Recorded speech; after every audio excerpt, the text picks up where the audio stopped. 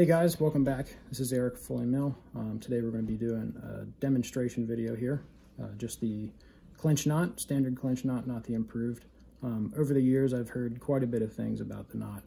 Mainly that it's meant to be used for small diameter tippets. Um, however, I find that not to be the case. Um, I remember growing up fishing with my dad and his friends uh, on the Susquehanna River, Pennsylvania, fishing for smallmouth, and we would use regularly, 12 to 15 um, pound tippet or pound test and uh, two aught, three aught hooks and never really had issues of the knot slipping. And I think that's due to the fact that once you run up to higher pound test and tippet diameters, you need to make sure that you're getting your appropriate amount of wraps.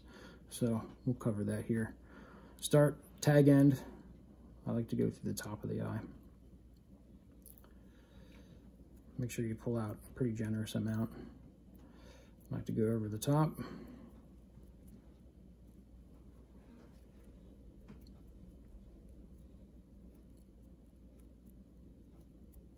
So I got six wraps there.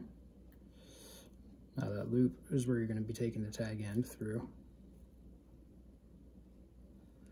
So make sure you trap that down there and then slowly pull tight. That's where you would moisten, by the way. Just backing, so I'm not going to moisten it. And that's your clinch knot. like I said, on higher pound tests, make sure you take uh, about six to eight wraps and make sure you pull it tight and make sure to give it a good tug. You know, you don't want it to break in your hand because if it does, it's going to break on your fish. All right, thanks for watching.